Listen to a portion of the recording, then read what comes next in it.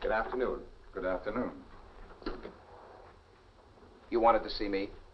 You're the head of this institution? Yes, uh, Condon's the name. My name is Andrews. Uh, this is Mrs. Andrews. How do you do, Mrs. Andrews? Mr. Condon, we're here on a very delicate matter. Uh, you want to adopt a baby? Yes, we do. Well, our rules are strict. Very strict indeed. But if you can qualify as worthy and dependable parents, I think it can be arranged. I think we can qualify, all right. Fine. Would you like to see the babies? No, that won't be necessary. You see, we already know the baby we want. It's, uh, um, As I said, Mr. Condon, this is a delicate situation. Uh, Miss Helen Roberts has registered here, hasn't she? Well, Mr. Andrews, our cases are confidential, and we always treat them as such. Good. That's as it should be. Well, no matter. We know she is, and and we want her baby. Have you her consent? no, as a matter of fact, she doesn't know that we know anything about her situation. Perhaps she doesn't want her baby adopted. Lots of them don't, you know. Oh, but she will. You see, her baby is, is, uh, you tell him, Henry.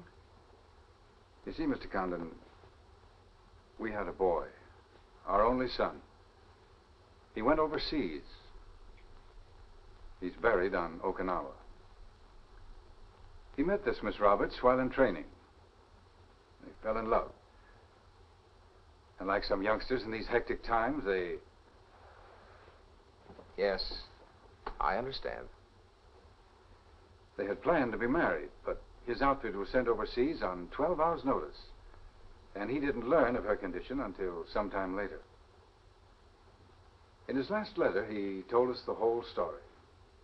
If he were coming back, they could have tried to straighten out their lives, but unfortunately, that's not the case. So you see, Mr. Condon, we must have that baby. It's all we have left. That's about it. We don't want this child to suffer for the mistake of its parents. We want to give it a good home and all the advantages of life. And I'd, I'd be glad to make a substantial donation to your institution. Well, of course, the baby's welfare is our chief concern. And seeing you have such a personal interest in this particular case, I'm sure it can be arranged. Thank you. And I want to write you a check right now. Thank you, Mr. Condon. Your institution's doing a great deal of good. Oh, uh, by the way, uh, there's my card in case you should want to investigate us. Oh, thank you.